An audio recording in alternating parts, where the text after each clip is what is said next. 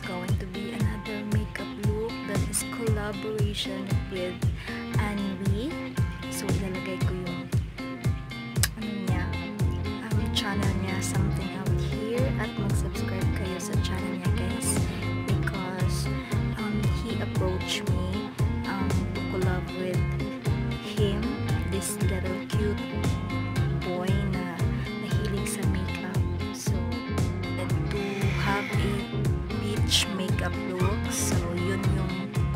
deal namin. At gumawa kami ng beach makeup look, guys. And huwag niyong kalimutan na i-watch yung version niya sa beach makeup look. Like this beachy makeup look.